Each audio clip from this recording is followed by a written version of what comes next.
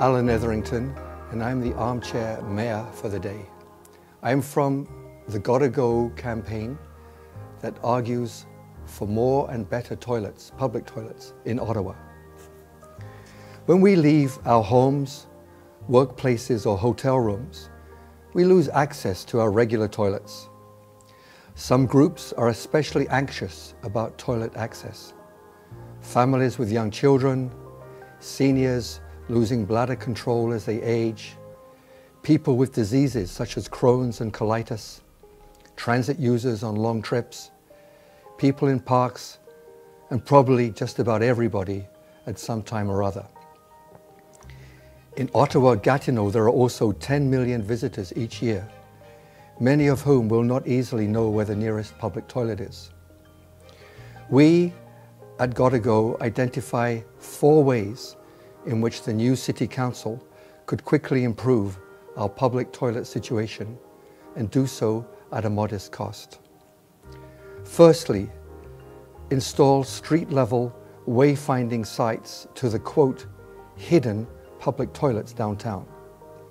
For example, the splendid toilets to the east of Parliament Hill are 100 metres from Wellington, but impossible to see from the street.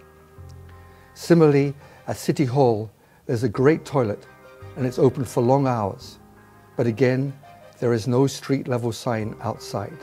And let's use universal symbols that can be clearly understood by all people, no matter what language they read. 20 or so street level signs would only cost a couple of thousand dollars.